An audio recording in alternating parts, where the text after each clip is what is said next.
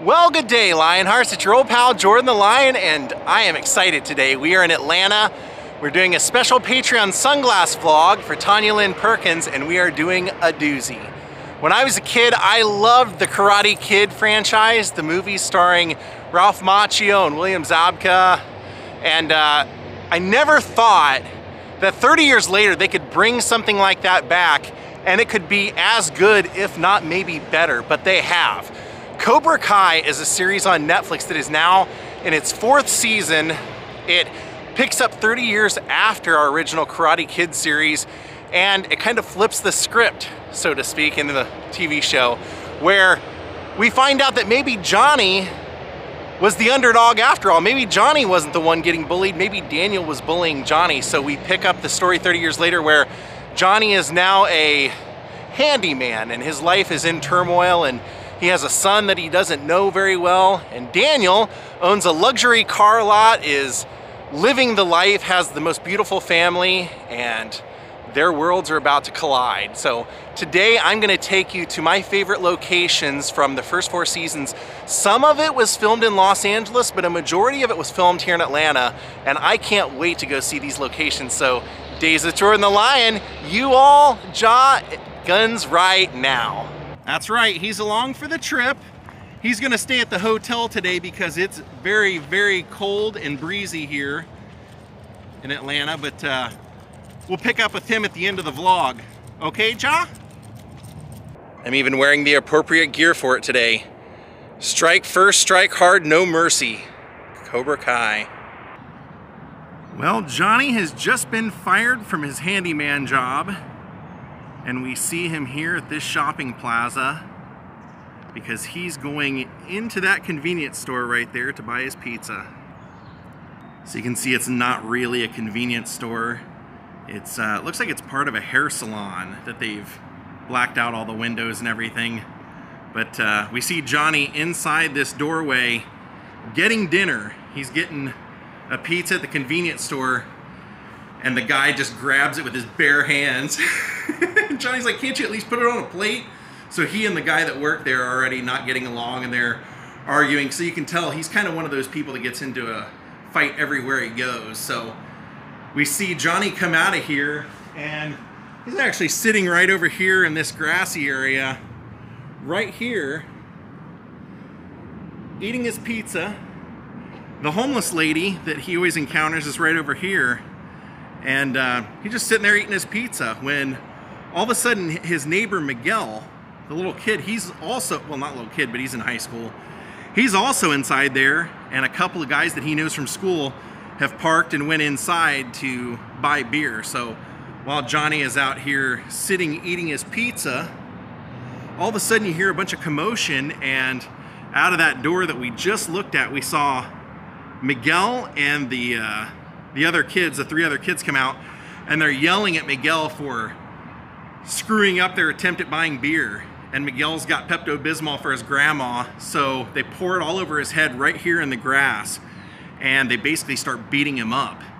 And since Johnny's car is parked right out here, his red Pontiac, as they're beating him up, they throw Miguel onto the top of Johnny's car he, where he hits Johnny's car, and Johnny's sitting over there and go, yells at him and gets up, and that's when Kyler, one of the more unlikable people in the entire series, is over here and starts yelling and taunting Johnny and calling him an old man, an old loser, eating his dinner at the convenience store.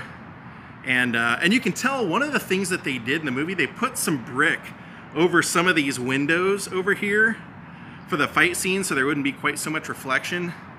But you end up seeing Johnny unleash on these kids right here, which as I'm watching it, you're sitting here going, what the heck is he doing? He's beating up a bunch of minors. But um, as it happens, the police show up and Johnny has just kicked the hell out of all of them. In fact, when Kyler has Johnny at a disadvantage at one point. He goes, What's the matter? Having trouble breathing? And right before the cops pepper spray Johnny, he says that to Kyler, What's the matter? Having trouble breathing? So sadly, Johnny gets arrested, and his when he gets out of jail, it's because his stepfather, played by Ed Asner, has gotten him out and gives Johnny a check to get out of his life. And Miguel, seeing what Johnny can do, asks him to train him in karate. Johnny says, I won't be your karate teacher, but I'll be your sensei. So he decides to reopen Cobra Kai.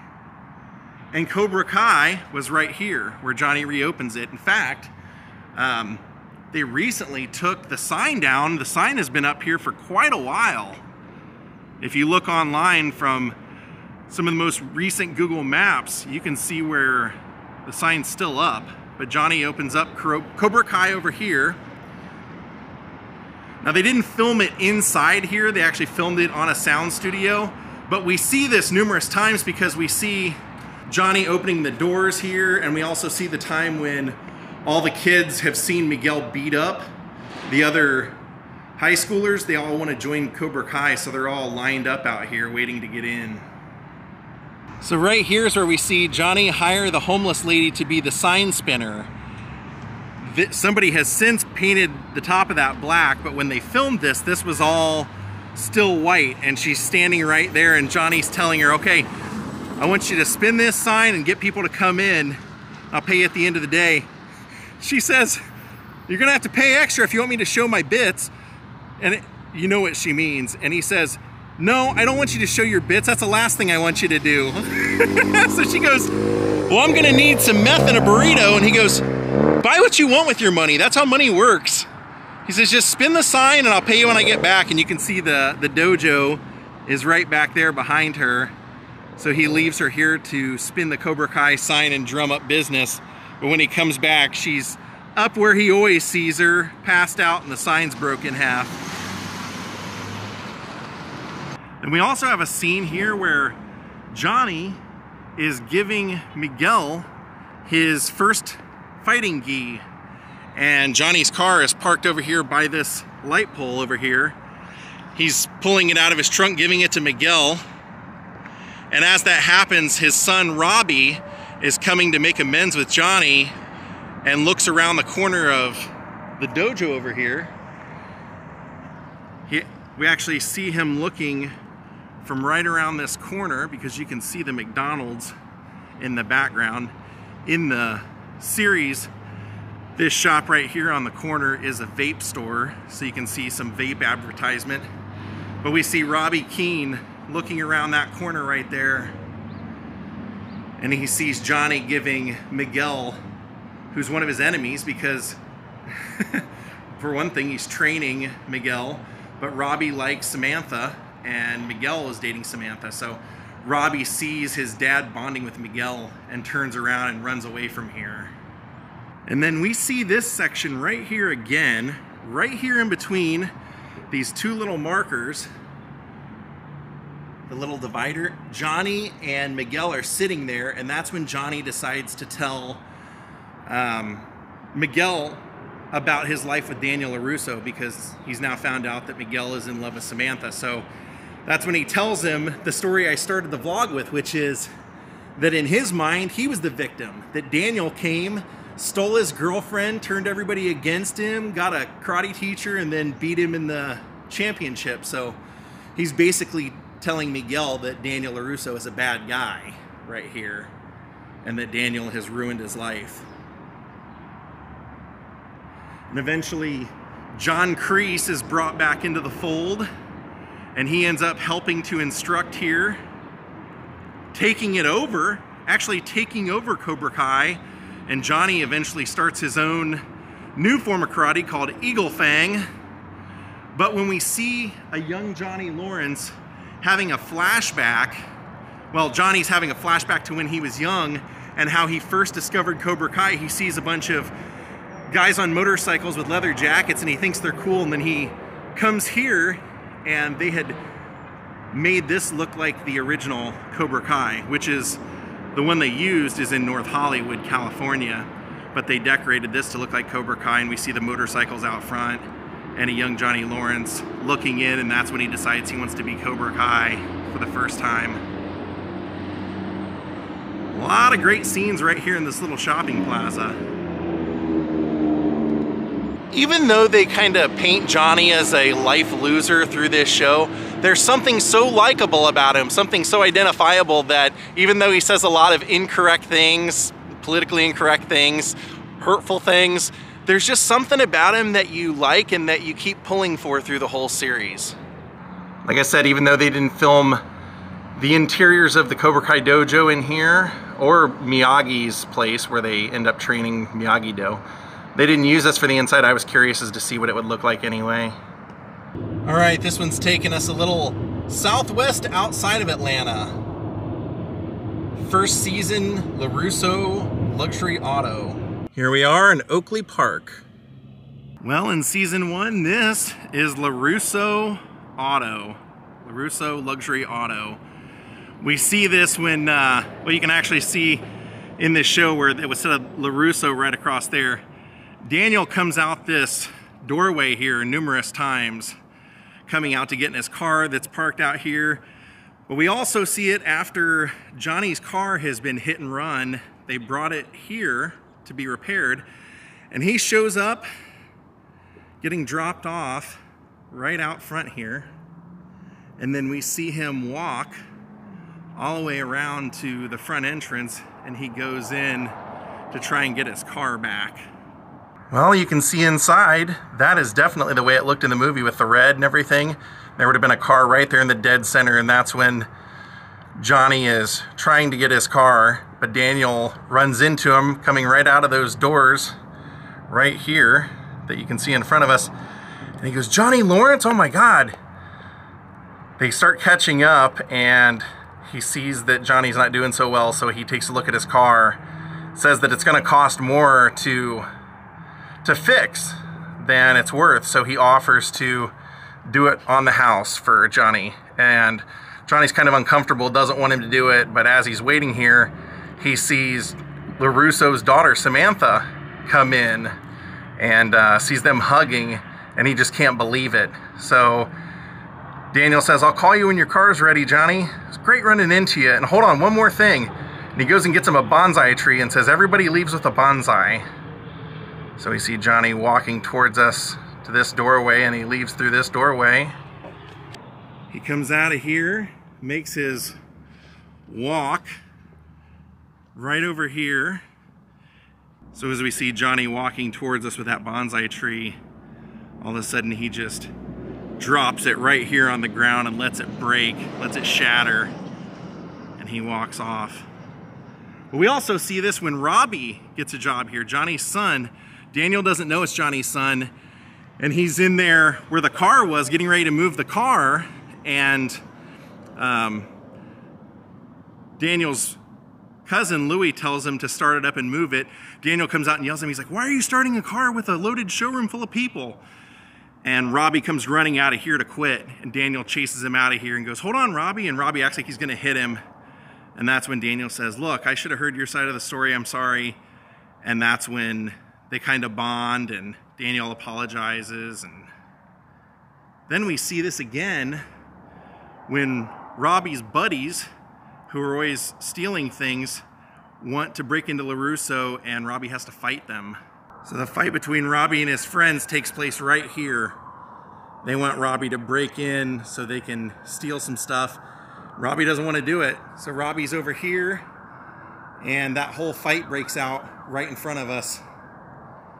With those doors in the background, you can see all that as he's beating up his two friends, former friends. And part of Robbie's training is much like Mr. Miyagi's training where Daniel has him out here washing and waxing all the cars and every way he tries to do something, Daniel comes and teaches him a different way that pertains to doing karate. Gives the same speech too, says, thought you were gonna teach me karate, but all you're having me do is your stupid chores. It's kind of funny because he's an employee here also. And at the time of filming, that sign would have said LaRusso Luxury Auto. Well, our next location is actually up for sale right now. It's the LaRusso house. And this is handful of scenes here throughout the whole series, of course. If it's Daniel's house, you're gonna see it a lot. First time we see it is when his daughter's throwing that pool party while Daniel and his wife are out at the country club and they come back and throw everybody out. Then we see it again when Daniel is reminiscing about teaching his daughter karate and he's setting up the dojo, clearing out all the junk that he's put in there and he's going to turn it back into his dojo again. But then when Robbie starts working for Daniel, cousin Louie tells him to bring the sales reports here.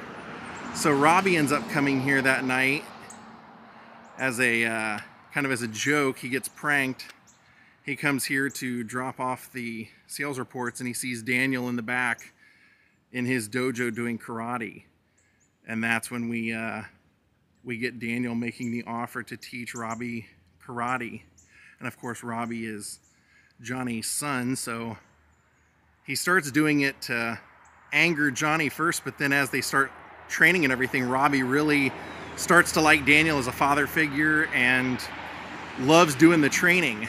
And then once Johnny and Daniel become friends again, and well, they're starting to become friends again, Daniel offers to give Johnny a car because his car got demolished. And uh, when they come back from driving the car, they come back to this house and they walk in the dojo, Johnny and Daniel, and Robbie is in there training, and that's when everything blows up. We find out that Robbie is Johnny's son. Daniel doesn't know it, and he thinks he's being pranked. Johnny flips out because he thinks Daniel's doing it to be a jerk. It's just everybody ends up angry at each other. So, fortunately, there's the owner is here, and I talked to him, and I said, "Hey, is there any chance I could go back there since it's for sale and uh, just show the pool and everything?" And he said, unfortunately not today because he has a lot of people back there working and everything. And yeah, so unfortunately we can't do that. But this was Daniel's house. All right, off to our next location. Now we're heading to a location that is not only in the original movie, but they bring it back for the series of Cobra Kai. So here in Atlanta, this is acting as the Encino Country Club. If you remember in the Cobra Kai series, Daniel invites Armand here after he's been had his membership revoked for peeing in the showers. Daniel invites him back and his family for lobster night because he wants to talk to him about buying the strip mall that he owns, which is where Johnny's Cobra Kai dojo is in. Daniel's driven past, he's seen that they started up the Cobra Kai dojo again, so he's trying to talk Armand into selling it, or at least it looks that way. Armand doesn't really seem like he wants to sell it because he doesn't trust Daniel. Daniel makes it sound like he wants to open a dealership in Reseda. But really what he says later on in the series is that he was just trying to get Armand to raise all the rents like closer to a market value and that sets Johnny off big time. But we also see this when Ali comes back into the picture. Her and Johnny end up here Daniel and his wife are here, and it uh, turns into kind of an interesting dinner. Here we are, Westview Cemetery for our next location.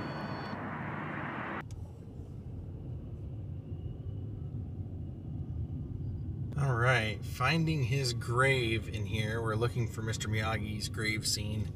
It's been very difficult. I've been here driving around for over an hour looking for landmarks and I cannot find them.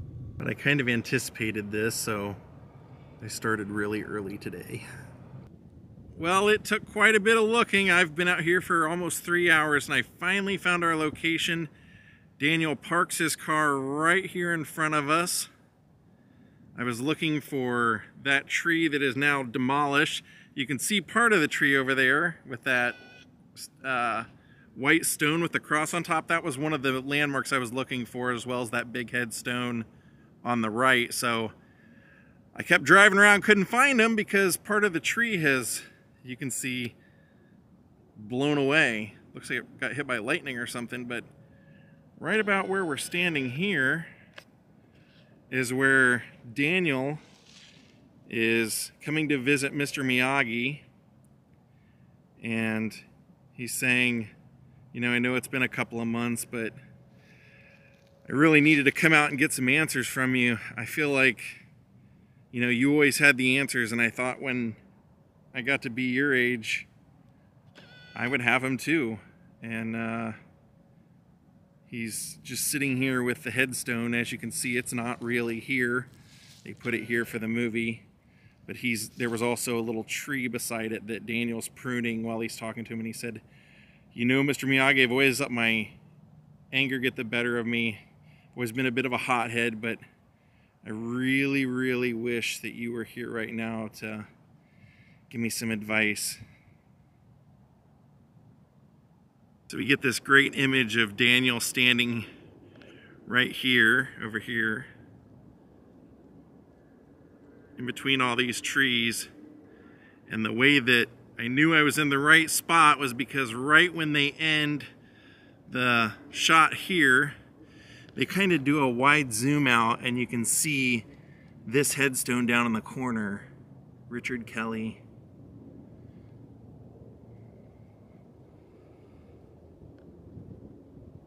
And this part of the show is really sad because Mr. Miyagi, Pat Morita, is the only person who well, other than Sato, he was the only main character in the movies that was not able to come back because he'd passed away. And um, they wanted to include him, and he runs throughout. His influence runs throughout the entire series, it, almost to a point where Daniel can't make a decision, you feel like, without him conferring on what Mr. Miyagi would do. And, uh, and originally when they cast Mr. Miyagi, they didn't even want to see Pat Morita. And he blew them away, winning over that part and was nominated for an Oscar for it, believe it or not. So really cool that they pay homage to Mr. Miyagi here with his fictitious gravesite. So rest in peace, Pat Morita. I can't believe we finally found this and matched it up, but wow, that took a long, long time. But if you're gonna do it, look for these landmarks.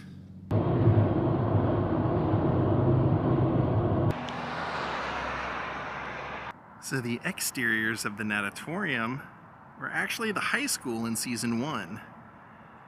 You only see it briefly. They show the interiors of a different school as the interiors, but the exteriors here, we see this when they're getting out of school and Miguel's mom takes off work early so she can take him to the movies and she picks him up right here. But the interiors that they used in here was the pool. Actually, right up here in this section it would have said West Valley High School. Let's go on in. So here's our scene. When Miguel wants to learn to kick, Johnny says, yeah, kicking's badass, but you have to learn how to fight and punch first, then I'll teach you to kick. So when it's time for them to learn, they come in here and the lights are off and everything, and Miguel says, wait, what, are we supposed to be in here? And Johnny says, I know the guy that runs it, don't worry about it.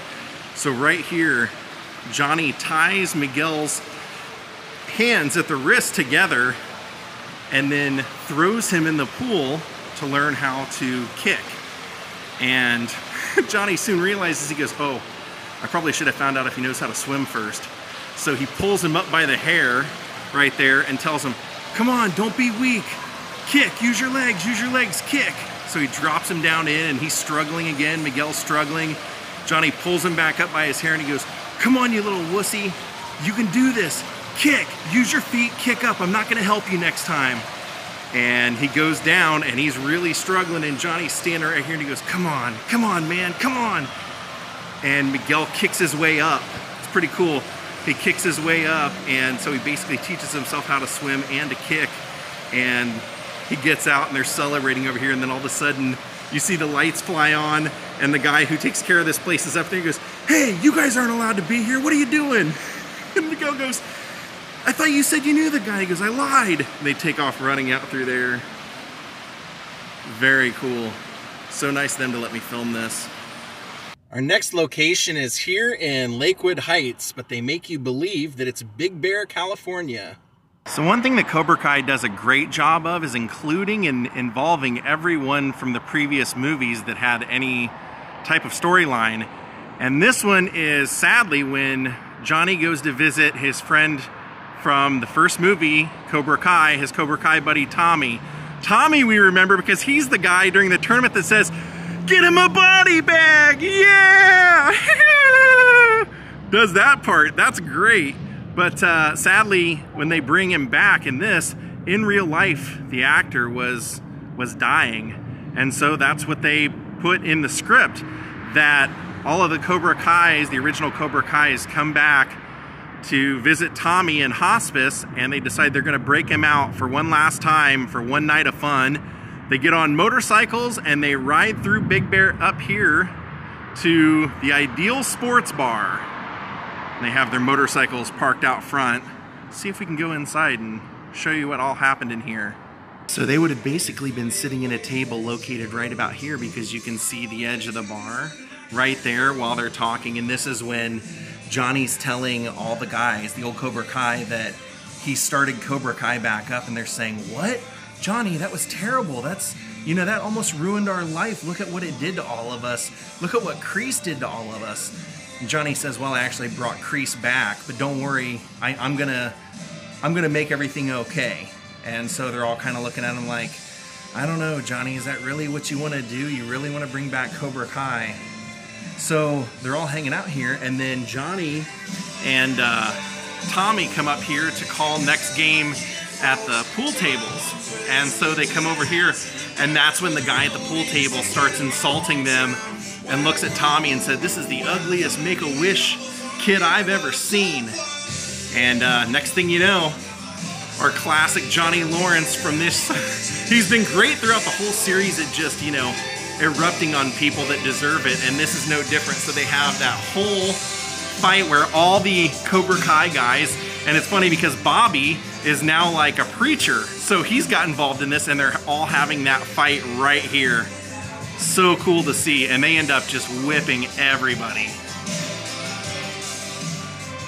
Really cool to see where that scene is because those those were the original Cobra Kai from the first movie. They got everybody except for Dutch, who is played by Chad McQueen. He was Steve McQueen's son, and he's a, a race car driver and race car owner, and he just didn't have time in his schedule to participate, so they say that he's in prison, but uh, I've heard rumors that he's going to come back later on in the series. Sadly, it couldn't be for this one, because the actor who played Tommy did pass away right after filming. So in the show, right after they leave here, they go out to the forest and camp for the night. And when they wake up the next morning, unfortunately, Tommy has passed away in his sleep. So it's kind of a great moment for them to have one last hurrah of beating up people here the way the old Cobra Kai did. There's some interesting street art for you. So in season three, Daniel is in fear of losing his business. And so he travels overseas to meet with his parent company to try and save his business. And he stops in his old stomping grounds of Okinawa, Mr. Miyagi's village, and decides he wants to go to Tomi Green Village, uh, or Tomi Village Green, and um, has a cab, tells them that's where he wants to go, and he gets in the cab, and the cab says, when's the last time you were there? And he goes, that's been a long time. And uh, I'm gonna show you this is supposed to be in Okinawa. This is supposed to be the former village that we saw in Karate Kid 2. It's actually Kenny's Alley here in Atlanta. This was Tomi Village. Daniel walks in and he just can't believe what he's seeing. He's almost stupefied. It's now a shopping plaza. And when he walks in, he sees a Red Lobster over here and a Baskin Robbins, and they have a Gap over here. And he goes over here to like a service center and asks them, and they said, Mr. Sato turned the whole village into this. He introduced um, retail into their lives. And he said, What about all the villagers? Weren't they upset? And they say, No, they all got jobs, they all prospered. So he's here just looking around, taking it in. He's kind of sad and upset at first. But then he notices over here on this stage, there's a bunch of girls dancing. And when their teacher turns around, he notices that it's Kumiko. Kumiko, his love interest from Karate Kid 2 and he gets to reunite with her, and she ends up reuniting him with Chozen. Remember Sato's nephew? And she says that he can help Daniel with Miyagi-Do karate. He knows the secret, so kind of cool to see that they still have the, well, it looks like it's a permanent fixture here, the, the stage that Kumiko's doing her dance on. But once again, bringing someone back from the past movies, really cool to see. Thank you for visiting the underground. You got it, because now we're moving on. So here we are over at the Atlanta Biltmore Hotel and the ballroom here and this front entrance we see the limo pull up to drop off Tori and Robbie and this is where the West Valley Junior Prom is. Miguel and Samantha are on a date and Tori and Robbie are here and they're all dancing and of course every time these guys get together, every time Cobra Kai and Miyagi-Do and Eagle Fang get together, a fight breaks out. So this is no different. Samantha and Tori end up starting a fight and it gets totally out of control. Oh, look at that cool Kodak sign up there. That's great. Here we are, season four. It's the Atlanta Ice Forum. So we never see the outside of this place, we only see the inside. This is where when Daniel and Johnny are teaching each other their karates, their respective karates, Johnny brings Daniel to a hockey game as part of learning Eagle Fang karate. So when we see Daniel and Johnny watching the game, it's actually on the breakaway rink. I say that because they actually have two skating rinks here on the premises. So Johnny and Daniel are actually sitting right over here in the bleachers watching the hockey game, and um, some action happens right in front of them. That's when Daniel goes, "Oh, come on, that's spearing! You can't do that." So Johnny starts yelling. He goes, "Yeah, come on, ref, that's spearing!" So the uh, one of the players gets sent to the penalty box, and um, while they're sitting over here, Johnny says, "Okay, I'm going to teach you something about my karate." He goes, "We're going to learn it." He Daniel's like, "We're going to learn it here." Johnny says, "Yeah." So he yells over, starts harassing the player over here. The guy's like, oh, so your girlfriend do all your talking for you? To Daniel. or he's saying it to Johnny, and Daniel's like, oh, come on, I'm trying to defuse the situation, Johnny. And the guy over here keeps going, yeah, well, come on, if you want a piece of me anytime. Johnny goes, oh, he can take you anytime he wants. so then we have Johnny and Daniel after the game walking towards us. And when they pass by here, you can even see the lockers and everything. And then as they make their way right over here, right in front of the vending machines, as they come right here, they end up having the fight where these tables are all at. Because you can see this behind the hockey players, they come from over here. And as soon as they confront Daniel and Johnny. Johnny walks off and Daniel's left here alone. So as they're standing here talking, that's when uh, the hockey players are like, oh, you want a piece of me? You can have a piece of me right now. With Daniel over here. And then one of the hockey players realizes it's Daniel LaRusso from LaRusso Auto, and they start commenting about Daniel's wife, and that gets Daniel really mad. So as there's four hockey players right over here antagonizing Daniel. He ends up just going nuts, which is great because he's abandoning his karate. Normally, his is all defense. Like you never have offense first. This time, he started the offense. So they have an entire, really great fight scene right here in this whole area right here that takes up, like I said, the whole area where all the chairs and everything are. They have that fight scene. And then when it's over, Daniel is victorious over all of them. And Johnny comes walking from over here. He had went over to get himself something to eat, left Daniel to fight alone. Now that's our last location of the day. And as I promised, let's go find Joster. And there's my buddy. I missed you. Did you miss me at all? No, not at all? When I walked in, you pretty much mauled me, didn't you? You came running after me and jumped all over me, didn't you? All right, my friends, we're going to call it a day. I hope you enjoyed this vlog. I want to thank Crystal Rome, Seth King, Jason Graves for making contributions to my channel. And I loved doing this vlog today. This was so much fun getting to see these locations. Like I said earlier in the vlog, it's hard for me to ever believe, you know, if I wouldn't have seen it with my own eyes, that a show could be that good.